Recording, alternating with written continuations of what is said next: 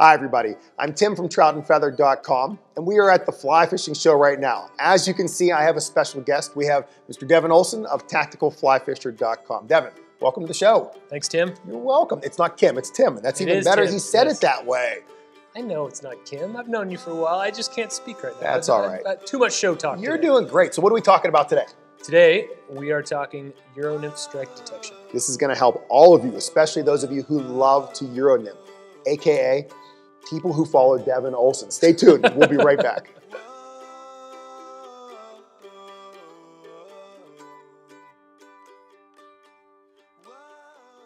All right, I'll tell you all about Devin if you don't know in just a little bit, but Devin, let's get right to it.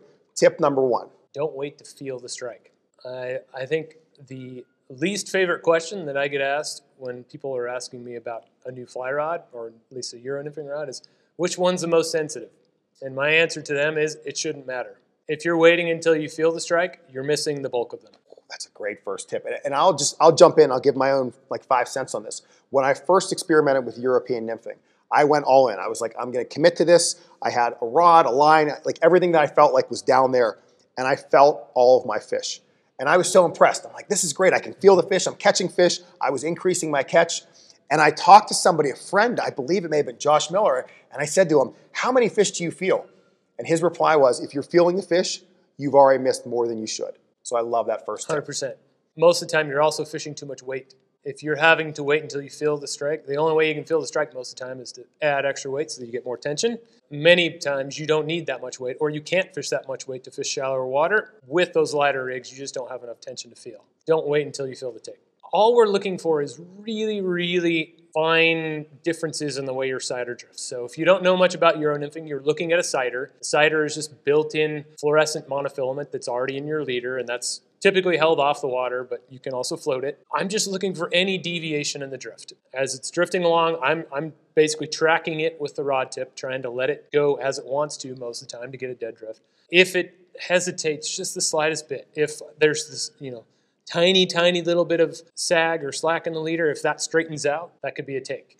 If it changes direction, let's say that you've got a nice vertical angle on it, and sometimes it might actually go tilt downstream before it tilts back upstream. You might have a little arc in your tippet below the surface of the water that when that goes tight, it actually changes your angle downstream before it goes back upstream. Any tiny, tiny little, you know, hesitation, if it stops, if it jumps, those are obvious ones, but I think the ones that people miss are the slight hesitations or sometimes if their sighter jumps down instead of upstream, it goes in a direction that you might not think based on where you think your flies are in relation to the sighter. Just look for anything that looks unnatural so that changes. Let, let me pick your brain on this. So imagine we have water coming for, coming towards us. So you're fishing upstream. Mm-hmm. Your your drift is coming back towards you.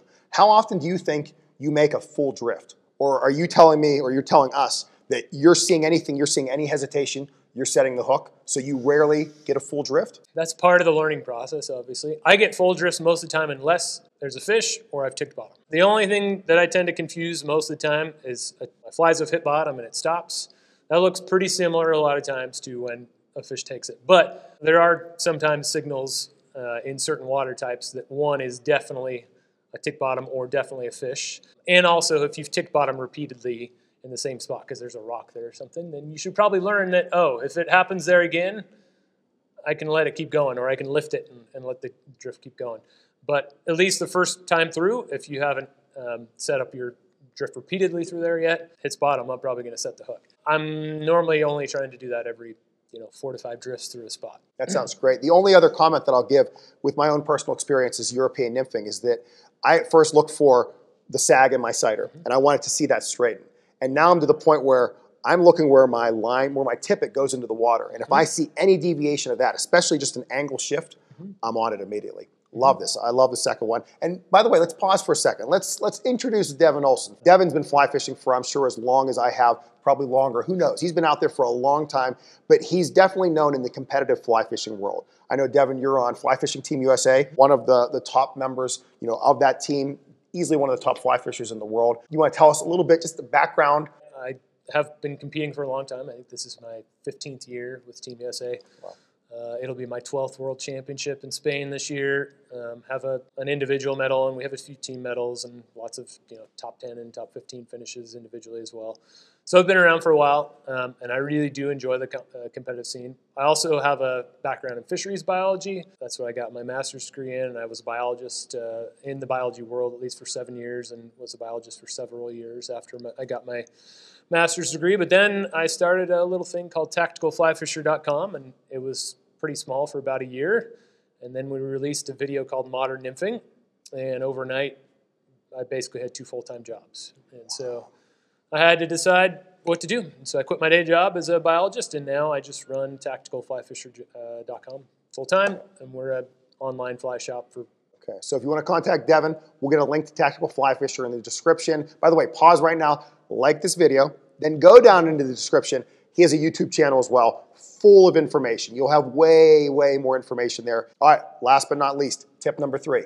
So, tip number three if you're still having problems detecting strikes, but you've mastered some Euro-nymph casting. The last thing you can do is really decrease the diameter of your leader because the less sag you can have in that leader, the more sensitivity you get out of it. A lot of folks uh, these days fish what I kind of refer to as a micro thin leader. And a micro thin leader is just a Euro-nymph leader that you've now taken the butt section that used to be something like 15 or 20 pound test uh, Maxima chameleon or, or, you know something of that uh, thickness and now that butt section is 4x. So it's only you know 7 thousandths of an inch thick, and normally you can use all sighter for that portion of the leader as well. So you get almost a direct inline connection to your flies. It's the only time when you might actually feel strikes and see them simultaneously because there's so much less sag that positivity and the sensitivity of the leader increases because of that direct connection. Because back, of yeah. direct connection and the decreased sag that you get from that thinner leader. And we'll warn you, this is where we say pause it's tough to cast that. I can it tell is. you, my, my wife Heather, she loves to Euro nymph, and it was tough for her to go from like a modular style leader mm-hmm. to that micro thin leader. She tried it on one of my rigs, and she was very happy to hand it back and go back to yep. her traditional Euro leader. So try it out. It may not be for everyone, but I'm hearing the tip: decrease your line size. You will have a better chance of detecting these strikes. Yeah, and you don't have to go to the micro thin leader immediately. In fact, I tell you, don't. All right. Wherever you're at now, step it down one size for the butt section and, and maybe your sighter. And then get used to that, step it down one more. Just go through an iterative process that eventually I can cast a microliter every bit as accurately as I can uh, a traditional, you know, thicker Euro leader, but it took me a long time to get there.